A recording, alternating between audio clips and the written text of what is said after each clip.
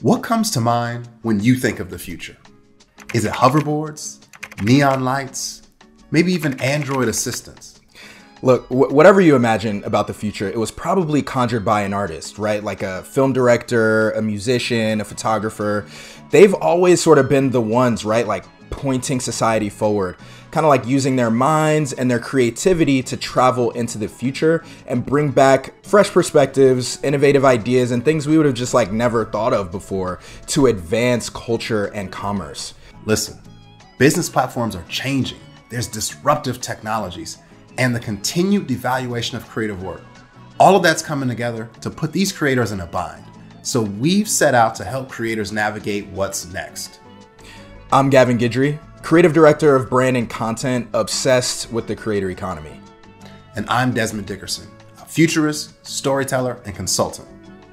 And together, we're on a journey to answer the question what's the future of creativity? And more importantly, how can creators play a role in bringing about that future that we all want to see? Each episode of the podcast we'll talk to an industry expert and gain insights to equip you with the tools, frameworks, and viewpoints to help you start building the future today. Because the future of creativity and the future more broadly isn't something that happens to you or to us, it's something that you create. So get your futurist hat on and let's gear up to shape the world that we want to see. This is the Tools for Time Traveling podcast.